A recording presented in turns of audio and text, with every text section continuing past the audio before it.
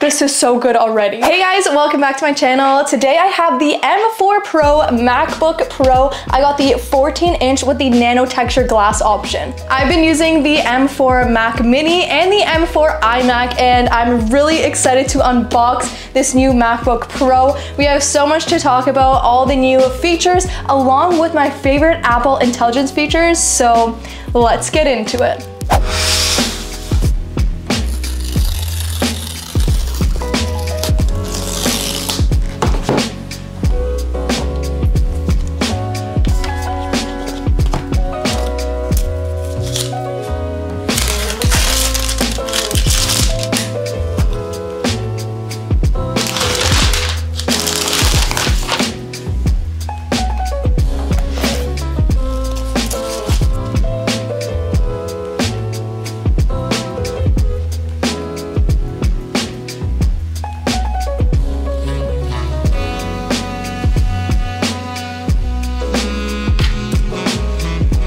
Guys, I genuinely gasped when I unboxed this. The nano texture display is nothing like I've seen before and I feel like I can never go back. I genuinely can never go back. I have lights coming here, natural light coming in here and you don't see a glare at all. It seriously looks incredible. I can't wait to use this outdoors, in an airplane, in a cafe. This is so good already. So I have the nano texture display on my new M4 iMac, but I think it's completely on the next level amazing on the MacBook Pro because you bring this around with you in different lighting all the time and no glare at all. This is so good. Now it's amazing because even if I shine a bright light into it, it still is a little dull. Like you can see a reflection just because this is a crazy bright light, but it's definitely dull. We have a natural light window coming from there and I have no glare whatsoever. Like it's such a beautiful finish with the nano texture display, like gorgeous finish. Apple really went off with the nano texture display on this. This is sick. So we have our MagSafe, two USB-Cs and a headphone jack. And on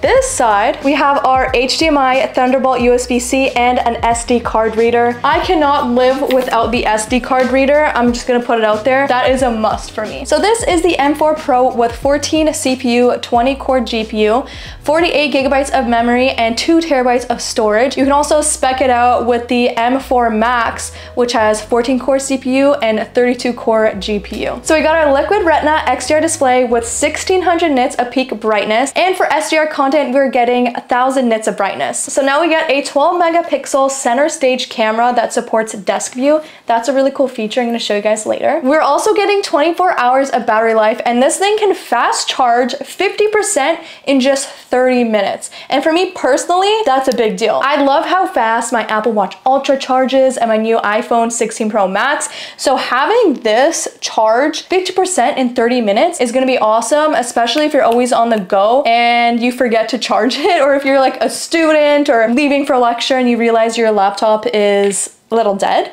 you could quickly plug it in and ready to go. So this guy can support two external displays and if you have the M4 Max version, you can support four external displays which is crazy for multitasking. So the M4 Pro and the M4 Max actually have Thunderbolt 5 ports, so this is going to more than double your transfer speeds for up to 120 gigabytes per second. Not only is this guy powerful, but it is built for Apple Intelligence. Let's go try out some of my favorite Apple Intelligence features. The writing tools feature in Apple Intelligence is something I think everyone will be using. Once you try it, there is no going back. So you just highlight a text, right click it, Click on writing tools and we have so many different options. It will be able to summarize a whole article in seconds. This is like Spark Notes, but better because it works on everything. It's awesome for doing research and finding key points of a long article. Apple Intelligence is seriously changing the way we're gonna do work forever and honestly, I'm excited. This is so cool. Now to our next feature. Apple Intelligence in Mail is gonna be so useful for everyone. If you're writing a long email or you just don't know how to craft it,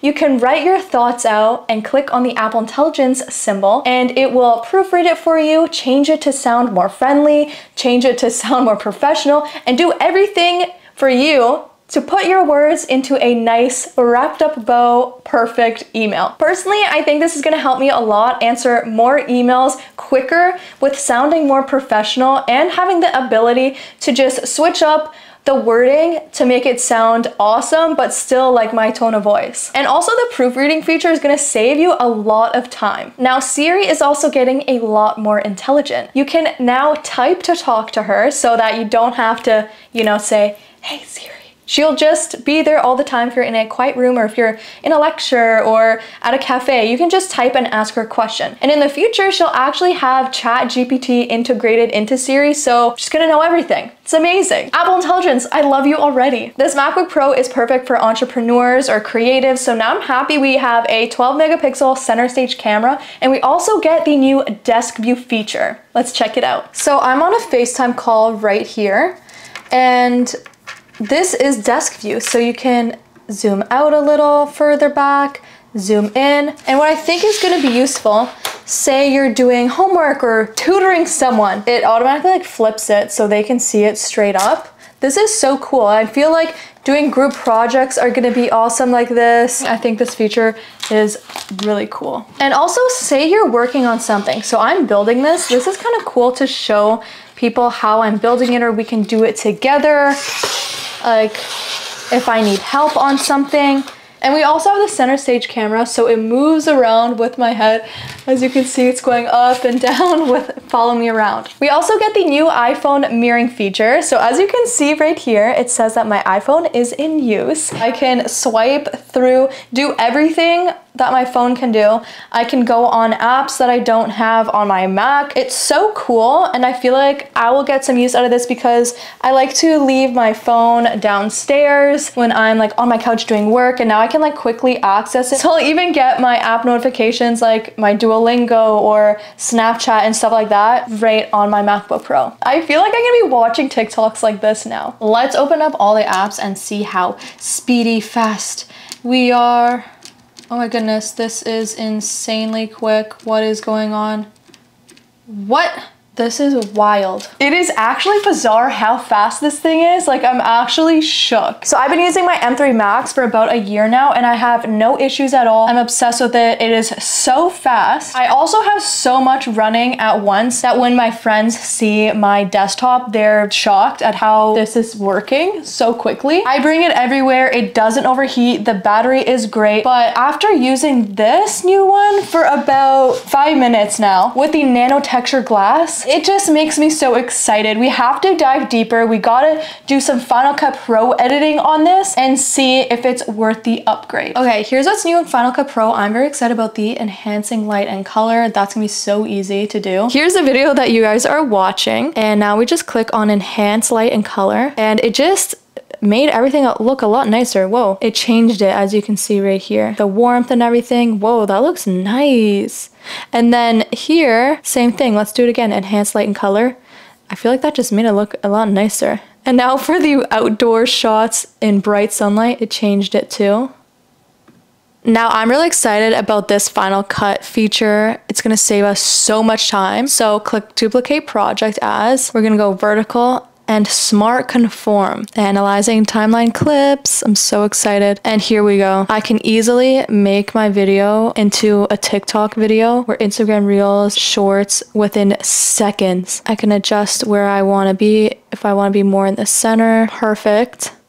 And now this clip at the end. Y'all, this is gonna save me so much time. Honestly, it's very impressive. There's no stutter. Apple, keep it up. Now gaming on this looks really nice, crisp, clean, looks gorgeous, super smooth, but what I think takes it to the next level, honestly, again, it's the nano texture glass. It gives it a really sharp, clean look where no glare is distracting when I'm just looking at the beautiful graphics of the game. This is so much fun. If you guys have any recommendations on games you think I would like, comment them down below. I have to show you guys the difference between nano texture glass and regular because the difference is crazy. This is nano texture and this is without it. You can see the reflection of my light right here and like my movements you see kind of in the back, but you don't see anything on the nano texture display. Let's get a closer look. The nano texture is definitely more matte of like a nice clean look. And this one you can see fingerprints right away. Whereas here it's not as noticeable. So you can notice a huge difference here of an angle. So I have a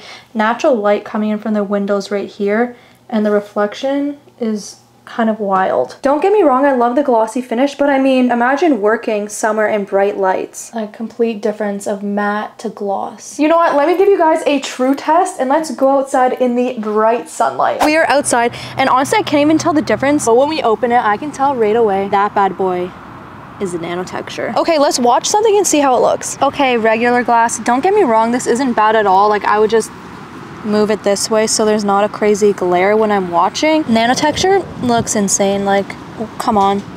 Look at this. No matter where I turn,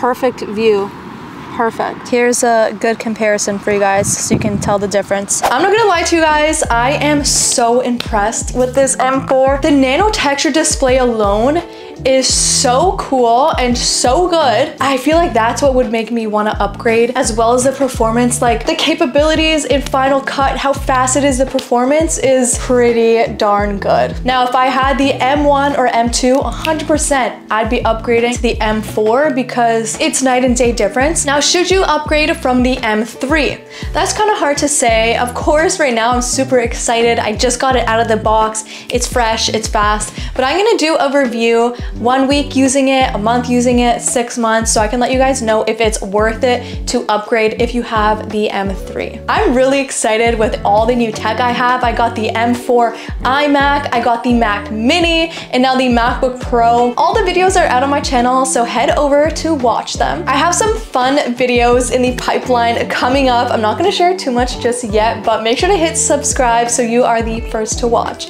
I hope you guys have a wonderful rest of your day, and I'll see you very soon soon. Bye.